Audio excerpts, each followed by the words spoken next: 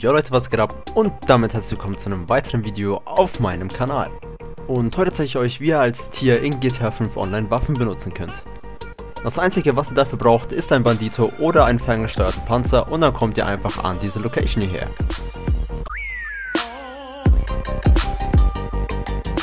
Dann begebt ihr euch zu der Peyote-Pflanze, öffnet euer Interaktionsmenü, geht auf Inventar und setzt euch in euer Bandito oder Panzer rein.